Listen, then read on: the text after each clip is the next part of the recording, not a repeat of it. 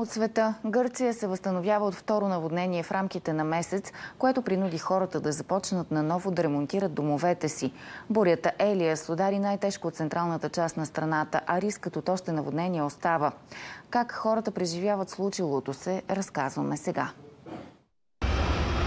След второто тежко наводнение в Централна Гърция само в рамките на месец, хората отново са изправени пред същия проблем. Кога ще имат покрив над главата и как ще възстановят щетите? В Волос и днес раздаваха бутилирана вода на фона на прекъсванията на тока и водоснабдяването, а спасителни екипи разчистваха пътищата от отломките, които стихията е носила след себе си. Местните си спомнят за първите часове след наводнението.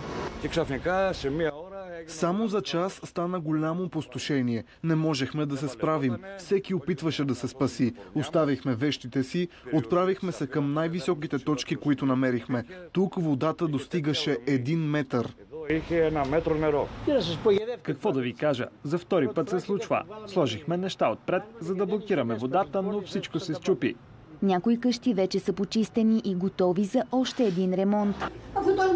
Ядосах се. Тък му бях почистила. Изхвърлих много неща. Други измих и ги поставих обратно на местата им. А сега отново трябва да изхвърлям. Не знам какво ще ми остане, само стените.